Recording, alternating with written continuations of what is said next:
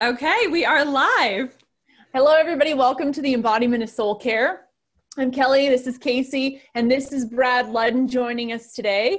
Brad is, oh my gosh, Brad, we've been friends for, I have, I can't even count, many, many, many, many, many years.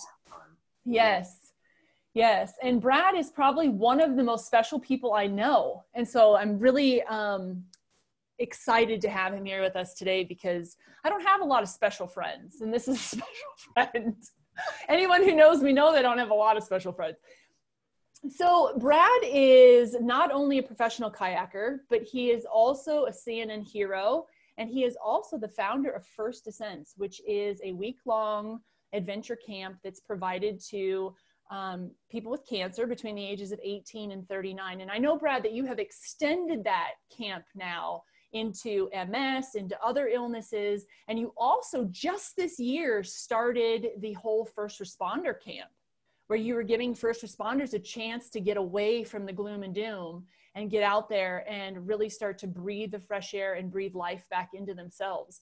And so I'm going to have you kind of just tell us a little bit about how FD got started. I know you started back in like 1999. We've been you know we've been at this for 20 plus years and i just want you to kind of tell everybody how that started like how you sparked this idea for anybody who's out there who may have a nonprofit that they're kind of spinning around in their heads and they're kind of like well how do i get this actually going and so yeah. if you could yeah i think i would try oh, first of all it's great to see you and, and, mm. uh, and, i just i'm so grateful for those enduring friendships in my life and, and you being one of them so it's always i don't know they just bring a lot of happiness Thank you. So I appreciate you and consider you a special friend of mine as well. So yes.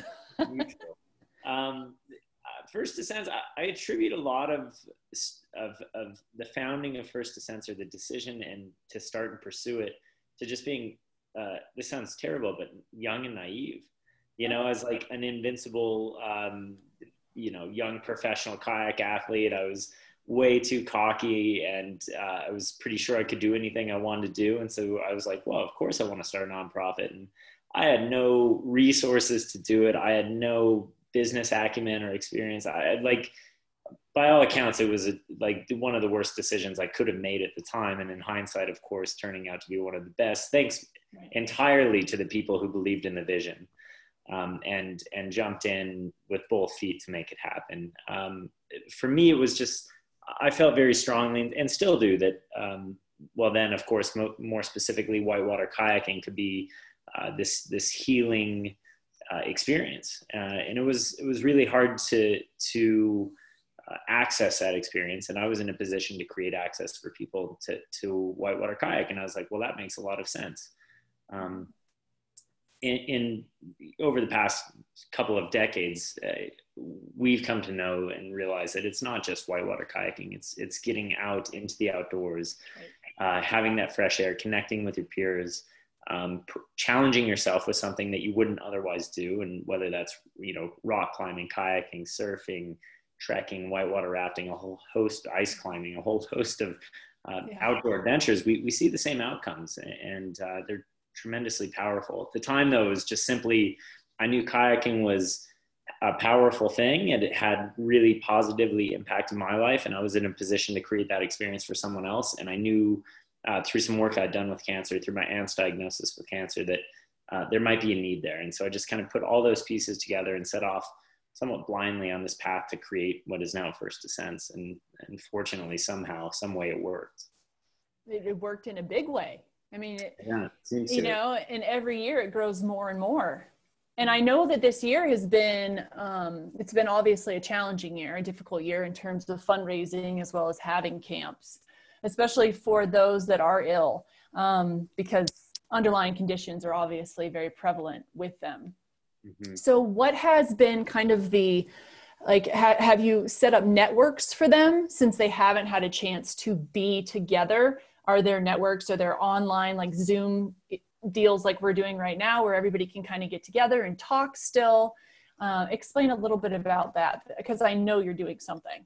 I think you know for, for as awful as this whole year has been for everyone we were fortunate that we had been around a very long time. We had established a very large and, and connected community Um, and, and that was kind of a gift in a lot of ways, uh, more than we maybe ever realized coming into this pandemic to have that community already established and then right. to activate it to, as you just touched on, to, to find ways to meaningfully connect these guys who, uh, you know, w- one of the things we hear from our participants, young adults with cancer, is that they have feelings of isolation and alienation.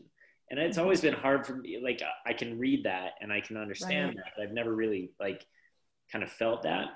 And this mm-hmm. pandemic hit and i was like woof this is heavy. And i started calling a lot of our our you know alumni and they were like yeah dude welcome to our world.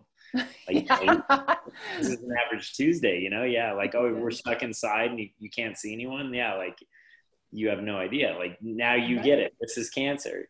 Right so, you know I, I think for them it was it was really eye-opening for me. For them it was kind of like they were like yeah this is this is life man. We're used to this. But fortunately the first time they had those feelings of isolation, alienation, they didn't necessarily have first descents or that community. Right. This time around, you know, compounded with pandemic, they did have that community. And I think for us to, to activate that connection, you know, be it through Zoom, uh, we did like, uh, you know, virtual fireside chats. We did yeah. online meditation, online yoga. We, we did like oh goodness, like mountain bike repair 101, you know, any, oh, perfect, yeah. and we did cooking classes because nutrition's a big part of our programming. And so right. it, was, it was beautiful. Like people just showed up. And what we started to hear more and more was that a lot of these participants who had attended an adventure, you know, our, our adventure programs, as you mentioned, are generally a week long. We have about 15 participants per program. And the bonds formed within that week are just tremendously powerful. Um, and we just started hearing more and more how these these camps, these programs were getting together and self-activating and self-connecting through Zoom oh, and cool. virtually and finding ways to kind of call back on that experience and those connections to get through these hard times. And so we did as much as we could, but they it was also nice to hear that they were they were kind of using this this platform, this community as a way to to connect beyond just what we were we were doing. So that was really meaningful. Yeah, that's really uh, I like that because it's kind of like, you know, you don't have to be the helm. You know what I mean? You don't have to be the driver. Like you provided this atmosphere for all of them, which is something you should be incredibly proud of. That then you've allowed them, who normally, many of them, I'm sure would admit, would never have branched out prior to camp. Mm-hmm. Never have gone outside of their comfort zone to speak to anybody about anything they were feeling mm-hmm. you know, unless it was a family or a very close friend. And that's the power of first descents. I mean, is that they're they're put into the I was going to say throne, but they're not thrown. they're placed into this. I know. Here you go. But they're placed into this situation where they know nobody. Okay, they might have one or two friends that they have known over the years that have gone to the camp, and maybe they're at the same one, but you know they go into this this was from my experience of watching it and you know hearing and listening and it's like, it's like going to college, you know, and knowing nobody. It's like you have all these people around you, but the one thing you have is that you all have that camaraderie. You all have that same thing that you're going through. I mean, at different levels, of course, like, you know, diagnosis wise, stage four, stage two, stage one, stage three, whatever it is, but it's all still cancer and it's all still illness.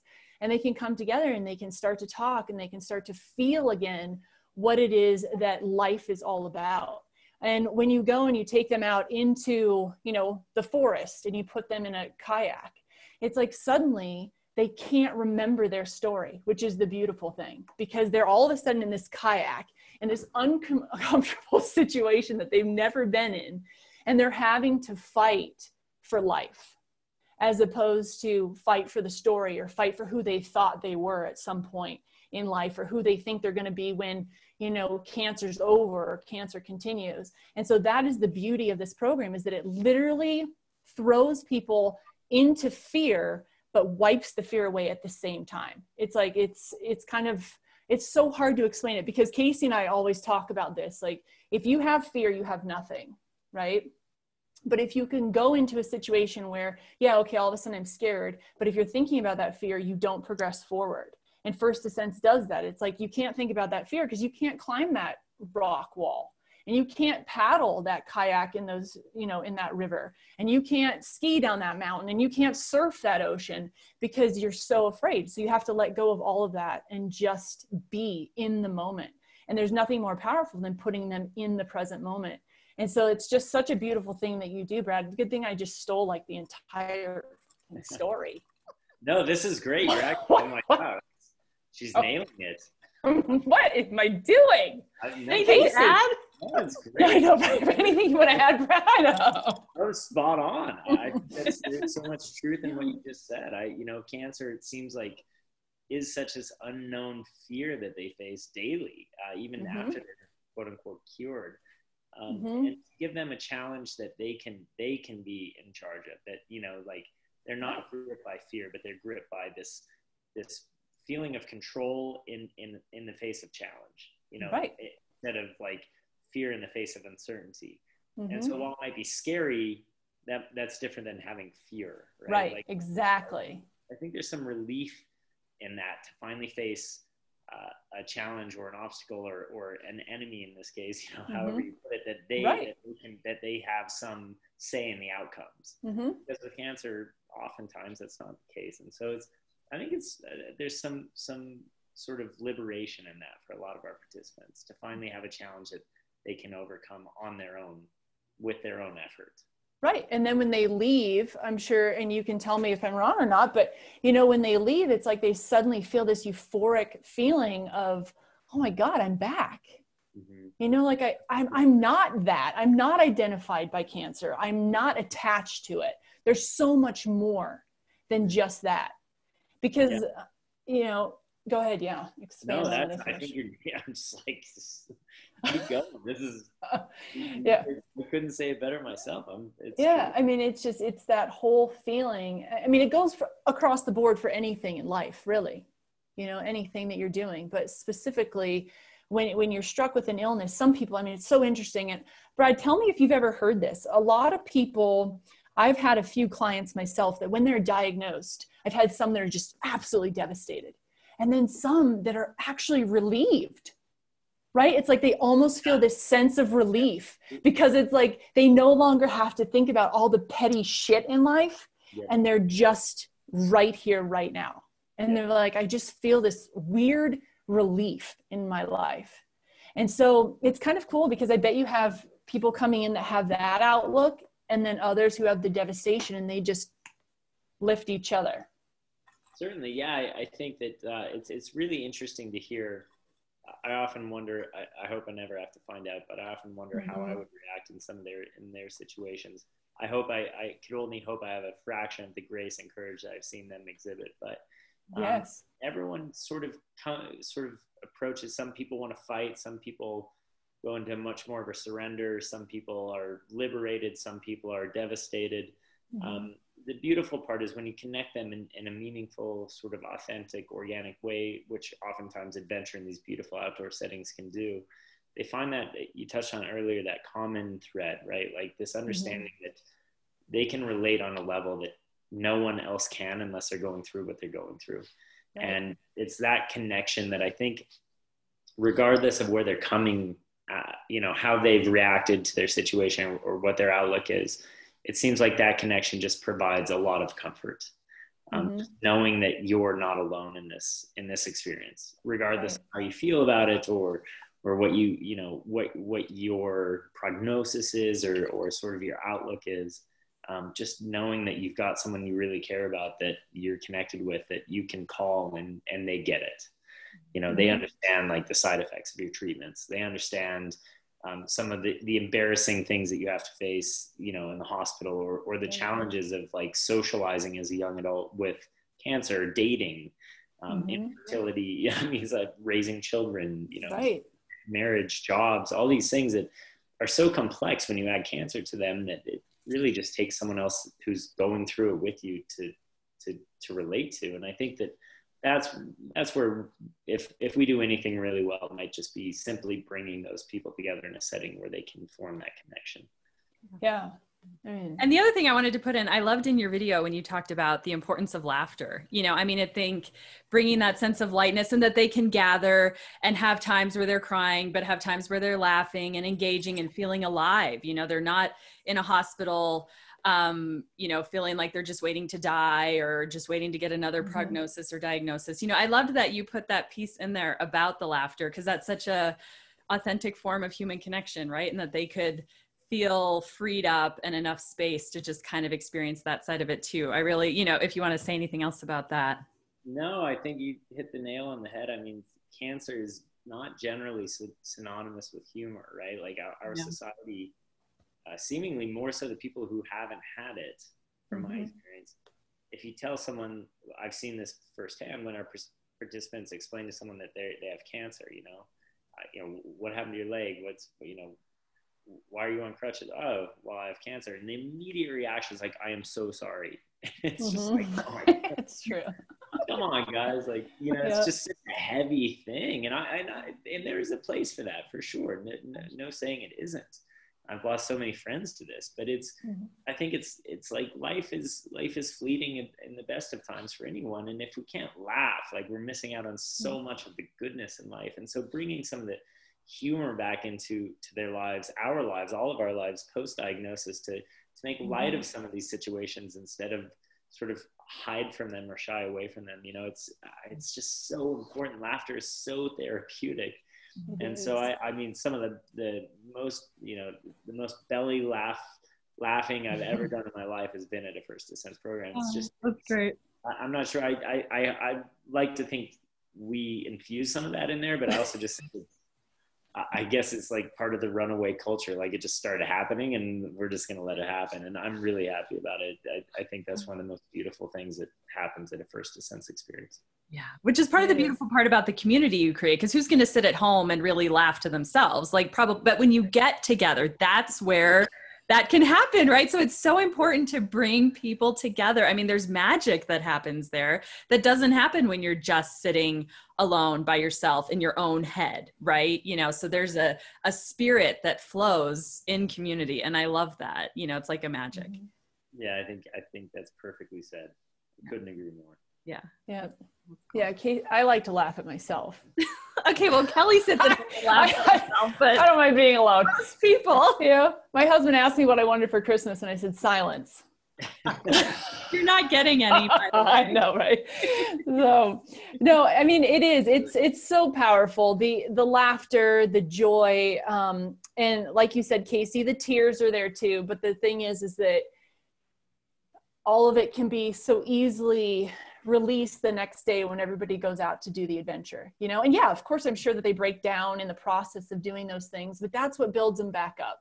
Yeah. You know that's what shows them that yeah the next time i'm sitting there in a chemo treatment i can remember this moment where i didn't think i could push through but here I am and I am pushing through, you know, or on a really bad day where they're vomiting and they're so nauseous that they can't do anything, you know, and feeling sick and weak. It's like, I remember I pushed through. Okay, I'm going to continue to push through today.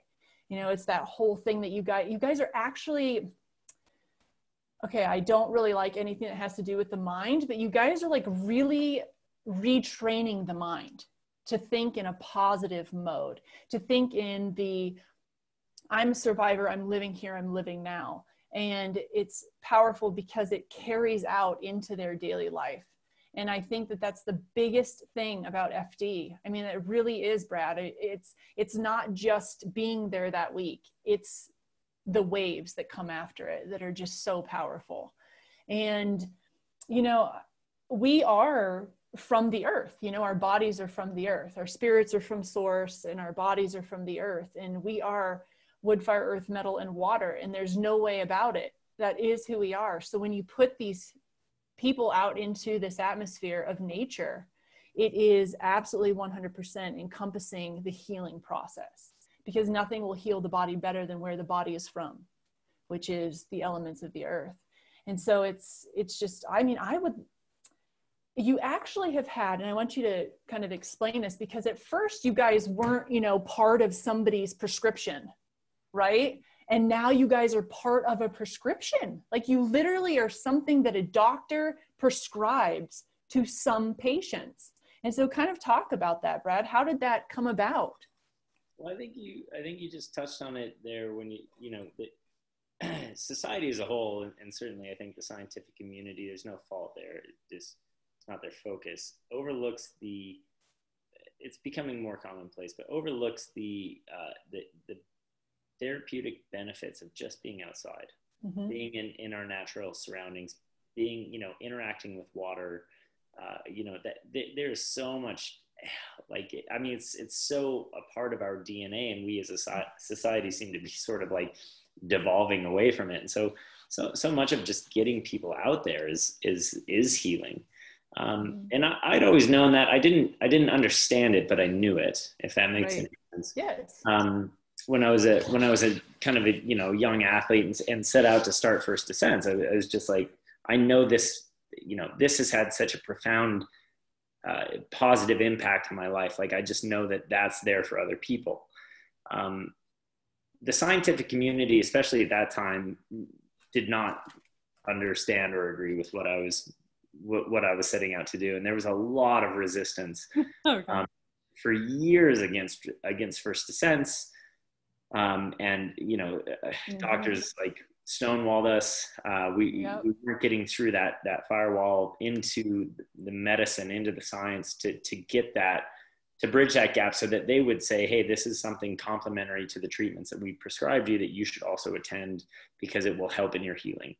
Um, and so, actually, one of our uh, one of our really wonderful partners, Genentech, was like, "Hey, you guys need like we believe in what you do, but we're also scientists. So like you need to mm-hmm. show the scientific community evidence.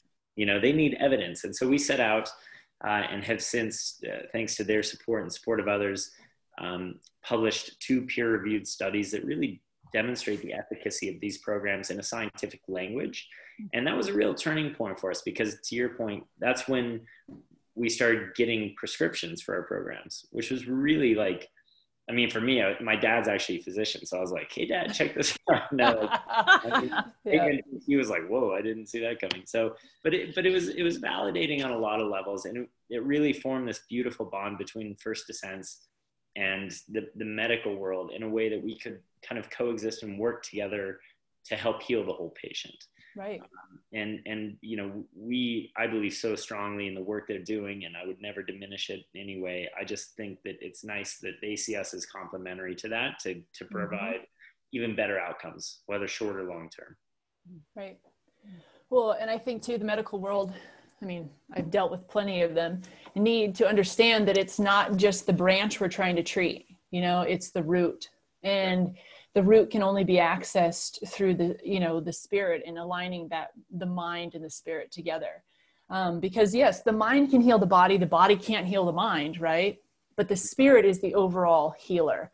And if we can get to the spirit and bring the spirit back to this shining being that it is whether it be through adventure camp or conversation or whatever have you uh, we need to get it there. And that's going to be the healing source that tips everything over. And i think you know casey you've spoke of this before you know the vibrational currents of just emotions and how those are so healing and how when we emit fear how low on the spectrum we are vibrationally versus if we emit joy and happiness and how high on the spectrum of vibration we are and how healing that is not only for ourselves but also everybody that is encircling us and that is around us.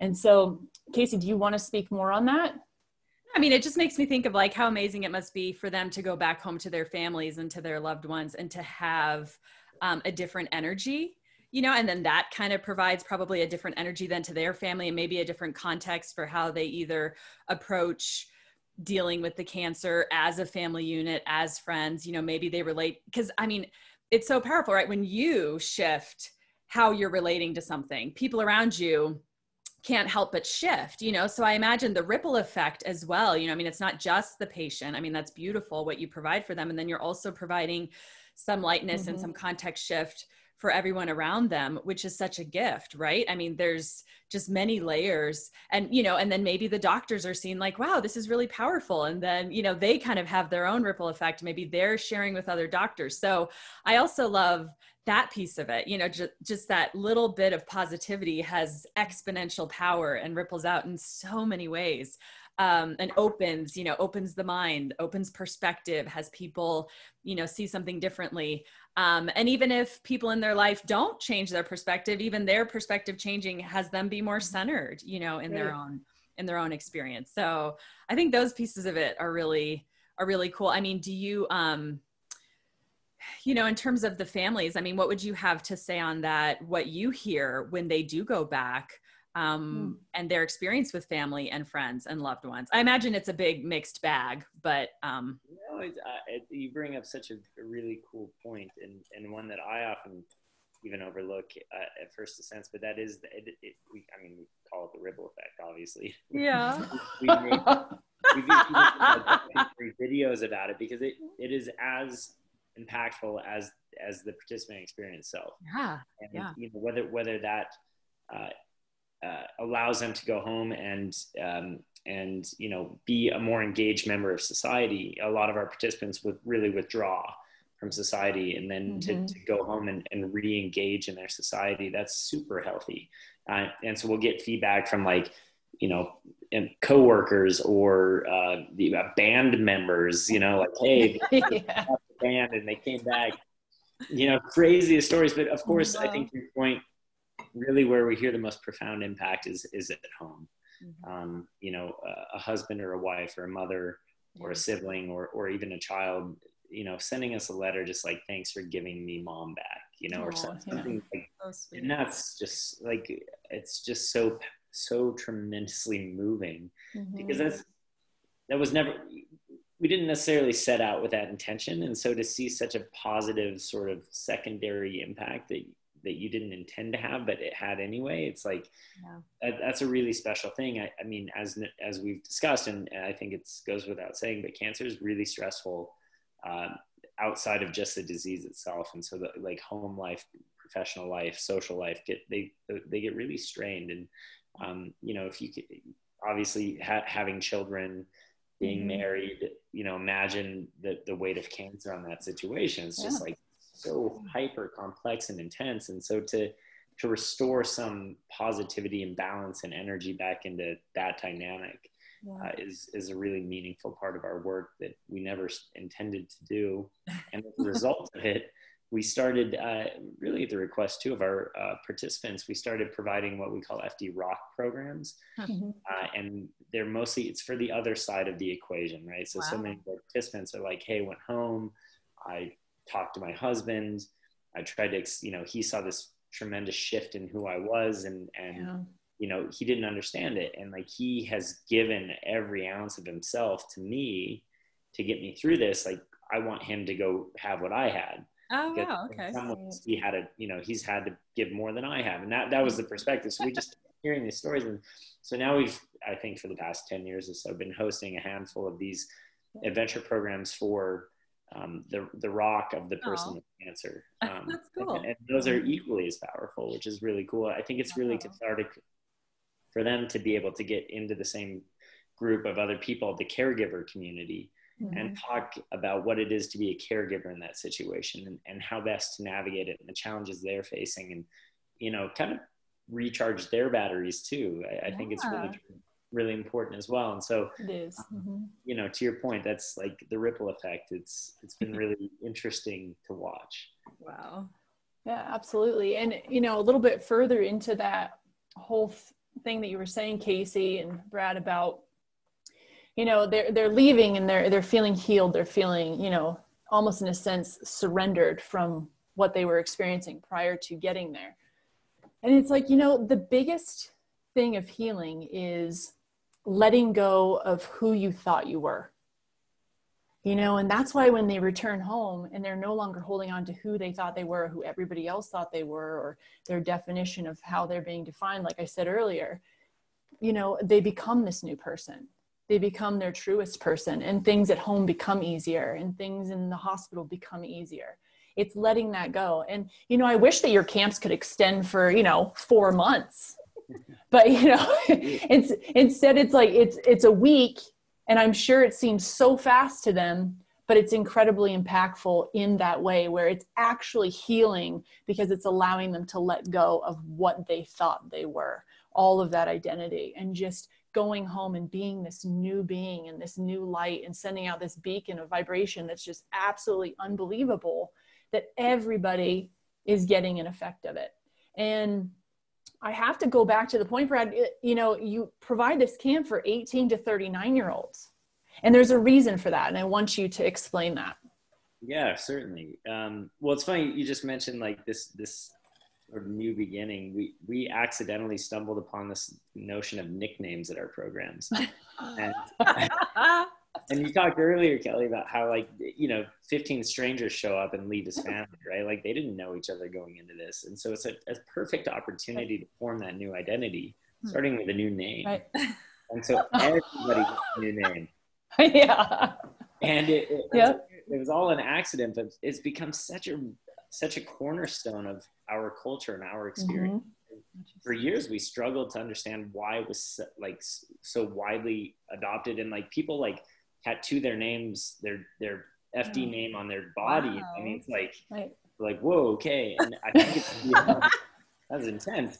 But it, so much of it is what you just touched on. You know, it's, it is this opportunity to shed mm-hmm. who you were to you know to kind of surrender that and to yeah. sort of like become who you are and, and who yeah. you want to be and, and start yeah. that new beginning uh, mm-hmm. uh, and not be defined by your past or by diagnosis but to, to sort of create your own voice around it so that's right. um, yeah, it's it's just funny you talked about that because it's like, ah, it, it, really resonates with me, and that's the nicknames really resonate with our participants. Yeah, they do. It became a huge database nightmare because like, people would be like, hey, you know, like chunks just uh, you know send in a donation, and we'd be like, sweet chunks, and then we'd go to write back, and like we didn't know their real name, so then like, like oh yeah. Stephen Weller actually sent you a donation. We're like, who's like, it was, so we oh, yeah. like our database to be like very nickname friendly. And yes, that's great. Five years, there's a lot of confusion within the organization to try to understand who these people were outside of FD um, That's beautiful because you know all the say you know all the sages of the world and all the Buddhas of the world say you have no names. That's beautiful. Your database just showed you. yeah, our, our database is just trying to tell us. Yeah, on a deeper level, you have no name. Yeah, yeah. Anyway, so I digress. I'm sorry. You were asking. I, I got really about um, ages 18 to Eight, 18 to 39. Like what sparked yeah, that? It's um. So so there are two things. Like the the shortest answer to that is when I set out to start First Descents, and uh, I had done some volunteer work with pediatric oncology patients, but my aunt was diagnosed as a young adult. She was in her 30s, had uh, breast cancer, and it was so I saw more, you know, firsthand what she went through, and I'd spent some time with kids with cancer. I think the easy default was like, okay, kids with cancer, like it's that's you see a lot of, and again, there's no fault here, but you just see a lot of uh, advertisements, you know, to support mm-hmm kids with cancer. It's, it's like my heartstrings, you know, get pulled when I see a, a any child going through any illness. Um, oh yeah. But, but I saw more firsthand, like with my aunt, how she had no resources. She had no one to turn to. So she turned to our family because we we're the closest thing to her. And she, you know, she had to leave her job because she she couldn't attend work. She'd just gotten married and wanted to start mm-hmm. a family. The huge strain on her marriage. She couldn't start a family, and and I was just like, where's your like where are your people where's the support here and, and it wasn't there you know it just seemed crazy to me right and so i started doing a bit of research when i had the, had the idea for fd and it was really simple that at the time and this was 20 some odd years ago there were over 250 pediatric oncology programs in the us mm. and there was not a single one for young adults with cancer right and that made no sense to me if you look at the numbers I think it's about you know eight to ten thousand kids diagnosed each year, over seventy thousand young adults diagnosed each year. So it's a it's a huge wow. population that was getting no support. And then if you pile on top of that, that Uh, as noted earlier, and I, think as we can all relate, like being a young adult is the time in your life when you're like, you know, going to college, so you're finally out on your own. You're probably un or underinsured. You don't yeah. have money, right? Like you you're trying to date, which is like horrifying. You know, on a good day. Yeah, I mean, on a good day, right? Like dating is such a, a nightmare on its own. And then if you like you have cancer, so like what point on the first do you tell them on the first date? Do you wait? A, you know, like you don't want to hide that, but you also don't want to find the relationship if you like the person, right? So it's like, I mean, dating sucks anyway. But then you, if, what if right. you, you have cancer? You know, and then like starting a family like there are all sorts of fertility issues surrounding cancer that's specific to young adults mm-hmm. um, professionally speaking like we talked about you know about going to work socializing like there's just like it is the most complex time. I think I'm not at the end of my life, hopefully, but to be a human, you know, living through this young adulthood has been Mhm. like, it's super challenging. Right. I didn't have cancer, knock on wood, you know, like, hmm so for all those reasons, uh, we thought it appropriate to support them. Um, and then you look at some of the uh, psychosocial impact. We see a lot of, as mentioned, feelings of isolation, um, alienation, which are really not good feelings, um, uh, clinical depression and anxiety, issues with body image and self-esteem. Um, again, this is a, a time in our lives when we're all pretty self-conscious, I think. And so cancer just compounds all of these things and adds all of these uh, oftentimes negative uh, things into your life. And so it's a time when people really do need that connection, that support, that Right. peer group. Um, so many of our participants, I would say the majority that come to a program, it's the first time they've met someone else their age with cancer. Which- Wow. Blows my mind. Yeah, that's shocking to me. Holy It's crap. a broken system that that is possible. Um, Wow. And so it, it's it's a necessary thing, and that you know that to answer your question the longest way possible. That's why we chose to work with young adults with cancer. Well, it makes complete sense to me because, like you said, it's a very challenging time. And, you know, even Casey and I both being mothers, I mean, I can't even imagine with all the shit I already have to do every day to add that on. Right. Sure. You know what I mean? And then to have, you know, the stresses in the family and all that stuff, and just to be able to get away for a week and just be with people that understand me. I mean, I can just put myself in that shoe immediately. It's like, huh, even as just a mother, do you have mom camps?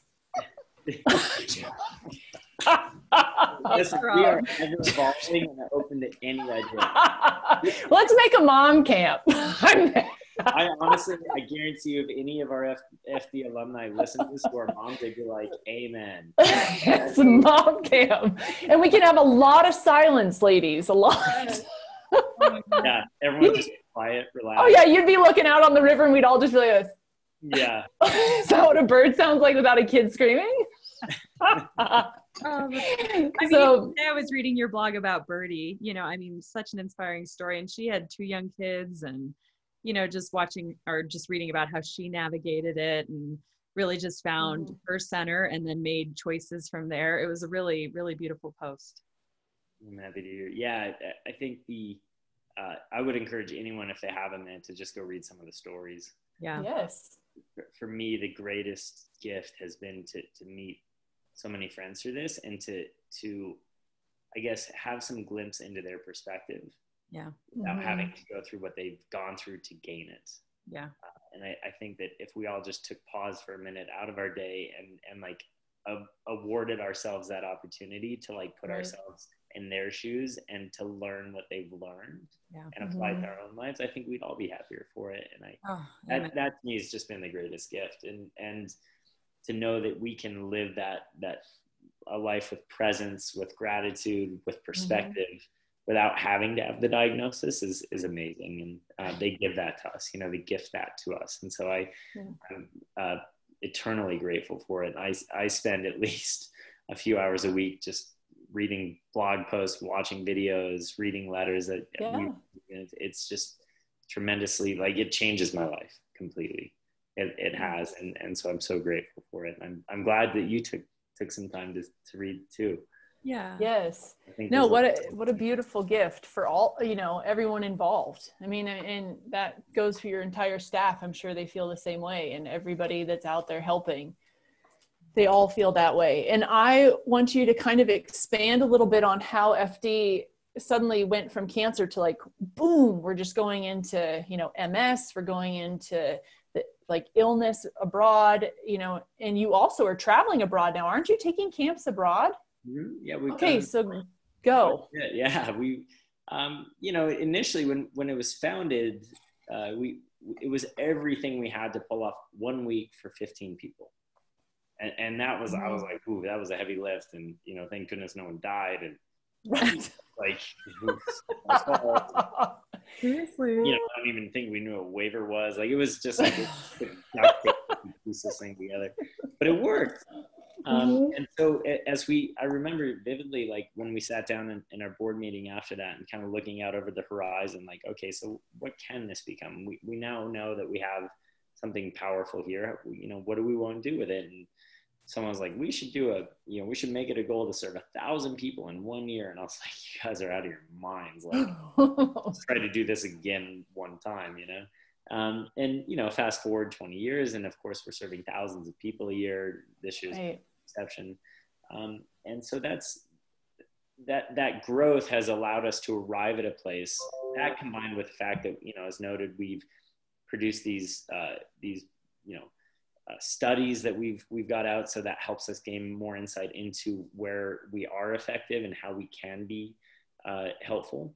Right. And uh, so couple all of that with the fact that, you know, as you said in the beginning, CNN featured First Descents, uh, mm-hmm. which was a tremendous honor in their hero show, and they've just been so amazing to give us the platform to like tell the world that we exist and and that you know they're like to to allow us to reach the people that didn't know mm-hmm. us otherwise, and then I think also just to remind people that out, outdoor adventure is help, helpful and healthy uh, in multiple ways.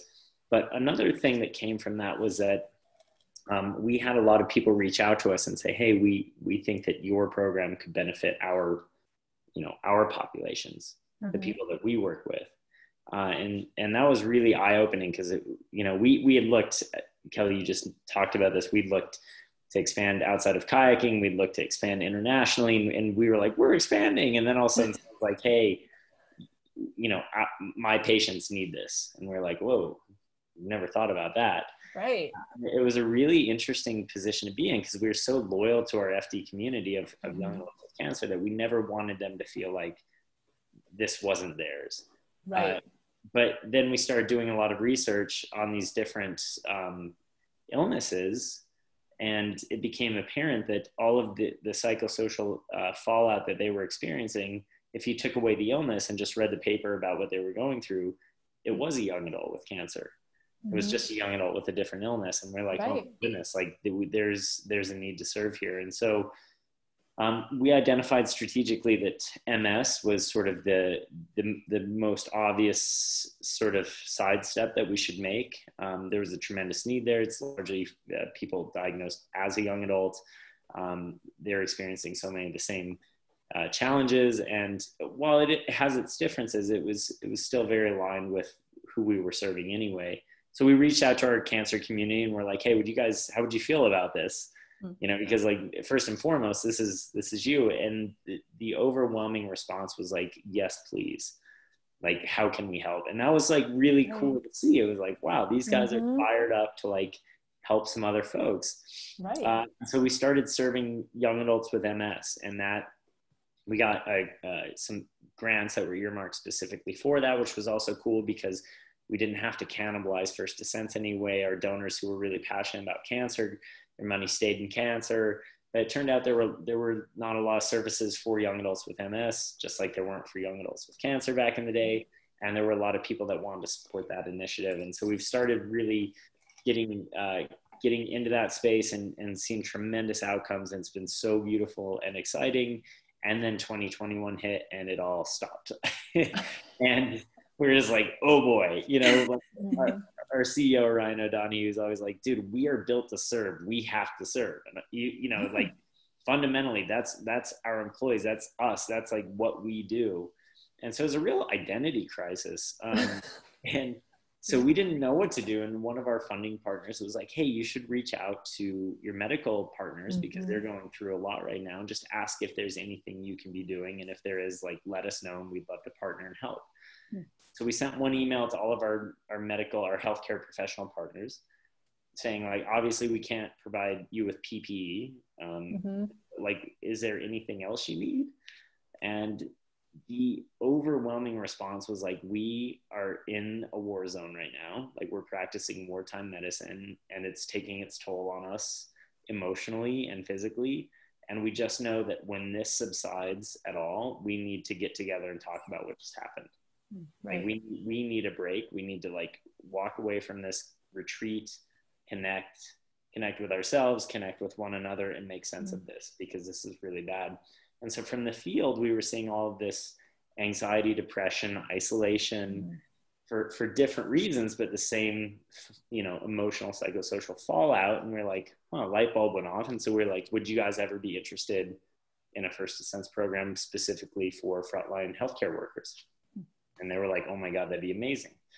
And yeah. so 2020 became like our silver lining really became our, our ability to serve a population who really needed it. And so we, in this year, a new program initiative was to provide free outdoor adventures to the healthcare workers that are on the front lines of the COVID pandemic. And it's just been just so beautiful and rewarding and crazy. And yeah, I mean, just never thought we'd be here for this reason, but it's sort of a silver lining, I guess yeah you're you're following your calling you know and i, I think i'm just going to put my little input in I, not that you care i do care I'm just kidding.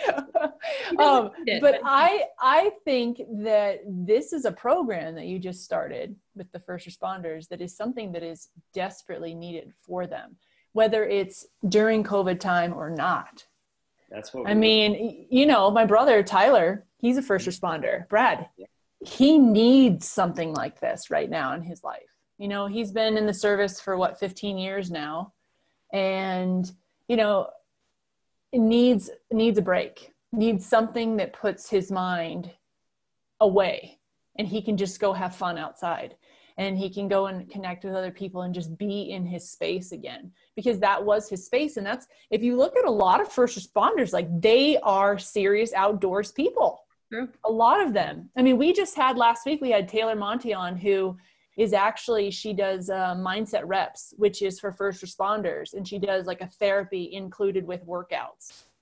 Awesome. And I told her I was going to put her in connection with you because I think that, and she would love to come volunteer for one of your, you know, one of your camps for first responders where she can implement that um, rapid eye movement treatment. She can you know she can do a lot of cool things in her counseling with anybody and also participate herself. So i think it's something that you should i mean i see good things for that. I think i see a whole expansion zone that you never even thought was coming your way.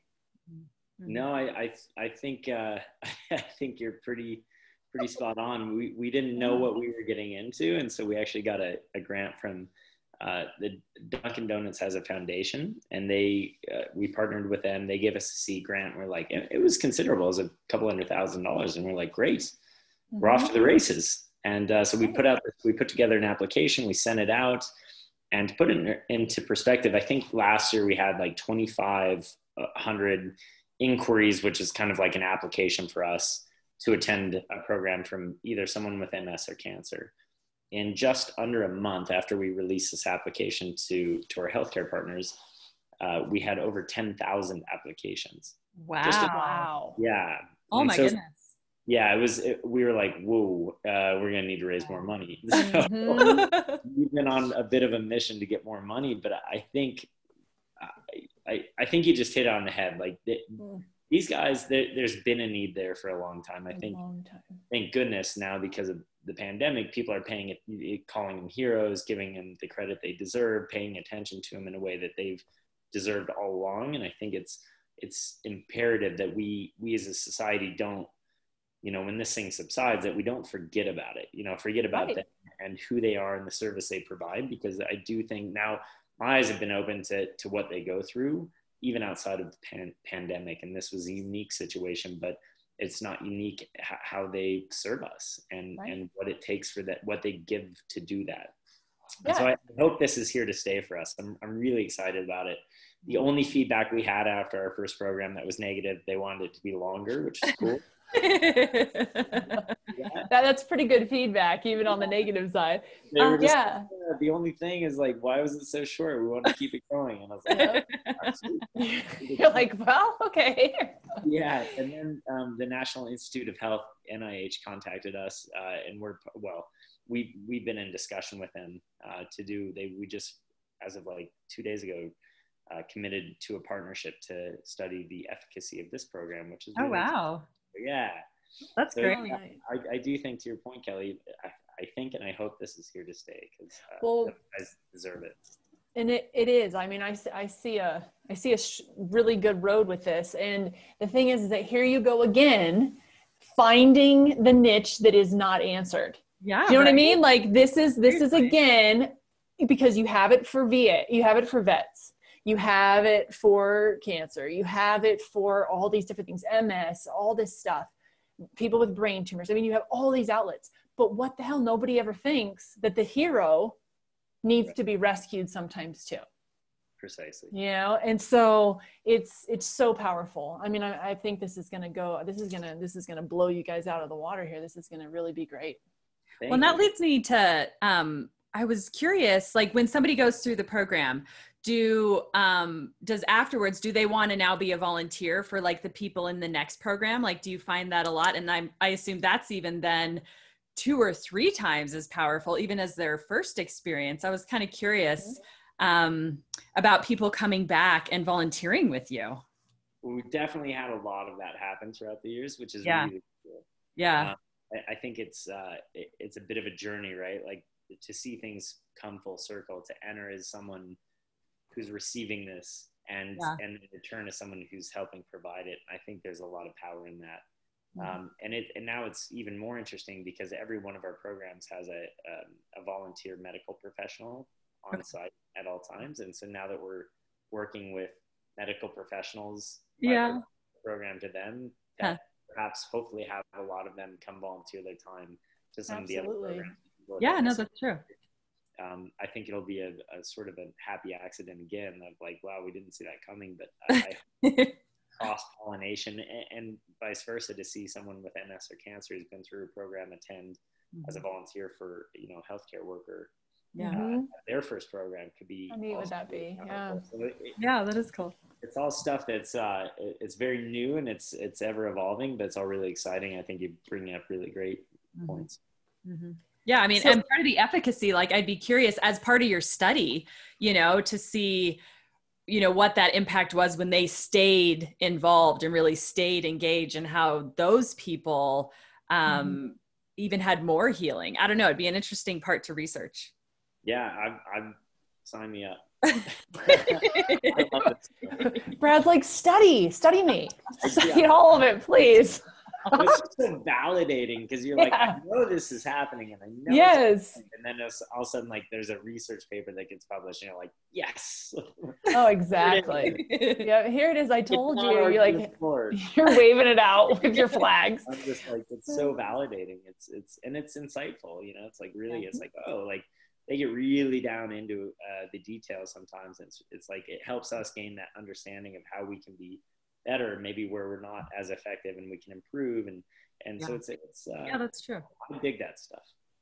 Yeah, I agree yeah 2020 has not been as bad as you thought it was going to be No, there it has been a very good year for Yeah. a, lo- a lot of people and um, you know it's opened up a lot of people's eyes and this whole you know even with fd i mean it opened up you guys' eyes to a whole nother crew of people who needed help Yeah. and so it's it's been a beautiful you know what they say 2020 vision you know in the 2020 so, you know you're finally seeing what really is I you know like going on out there. So brad before we kind of end all of this i want you to let people know how they can donate how they can get involved how they can you know i know there's not a lot of fundraising you know events going on at this point Yeah. but how they can do fundraising even at home maybe. I mean any ideas you may have or something that they can do in terms of donation and also yeah let people know like what it costs for one camper per Mhm. week you know that type of thing so people know what to donate Yeah, I mean, I, I think, of course, like the the easiest answer is like anything helps. If you can Mhm. volunteer, that's awesome. Uh, if you have uh, ten dollars, that makes a tremendous difference. If if you if you can give us a million, we'll, we, there's no question that the Mhm. need is there, and we have a vehicle by which to put it to use, right? So if you Right. give us the, the the means, we can connect it to the need very quickly, and that and that's a, a really nice position to be in. So um, it, it's a giving season. It feels good to give. Uh, you know that your donation here is going to go to to a really meaningful place or person and make a tremendous uh, impact that will last their lifetime. And so, Mhm. um, you know, in advance, thank you for considering it. Uh, we Yes. have provided these programs free of charge for over 20 years, and we're proud of that. Uh, and we aim to continue to do so. Um, the, the easiest way is to go on firstdescents.org and and that's like where all of the information is. You can read about all of mm-hmm. our programs. Um, you can make a donation. You can read some of the blogs and the stories and watch some of the videos. And there's just a lot of content in there uh, that's really fun to check out. And I think the other thing that you can do is if you know someone with cancer, you know someone with MS, you know, you know someone on the front lines right now who's having a hard time, like send them our way. Uh, at the very least, our team will, you know, get them in touch with our team, uh, start talking about a future program, connecting them with people in their community, uh, and, and all of that stuff can be really uh, powerful and healing. You know, even in the mm-hmm. meantime, just to know it's there, to know that it's coming, to know that you you are signed up for a program, even if it's next year, just to have that that knowledge gives you something to look forward to. And so I always um, all of those things help us. I always try to point that out. That you know, don't forget about referring someone to the First Descents. Yeah, that's that's really important actually. And you know, and we extend that to all of our viewers to definitely, you know, if you know somebody who's in need of this program, absolutely put them in contact with FD. I mean, there's not a more powerful uh, place to spend a week of your life. You will change in so many unbelievable ways, even as a volunteer. I mean, I'm, I attest to that.